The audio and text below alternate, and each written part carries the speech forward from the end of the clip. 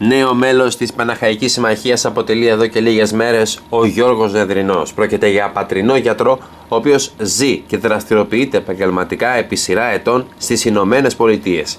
Ο Γιώργος Δενδρινός είναι παθολόγος και ιδιοκτήτης κλινικής στην πολιτεία της Φιλαδέλφιας των Ηνωμένων Πολιτειών της Αμερικής. Έφυγε από την Πάτρα σε νεαρή ηλικία, χωρίς ωστόσο ποτέ να ξεχάσει ούτε τη γενέτειρά του, αλλά ούτε και την αγαπημένη του Παναχαϊκή, την οποία παρακολουθούσε όταν του δινόταν η ευκαιρία να βρίσκεται στην Ελλάδα.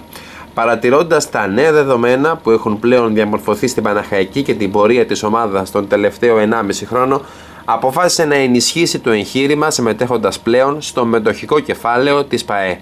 Ο Γιώργος Δενδρινός βρέθηκε πριν από λίγες μέρες στην Πάτρα όπου συναντήθηκε με μέλη της Παναχαϊκής Συμμαχίας πιστοποιώντας έτσι την είσοδό του στη μεγάλη Παναχαϊκή οικογένεια η οποία τον καλωσόρισε.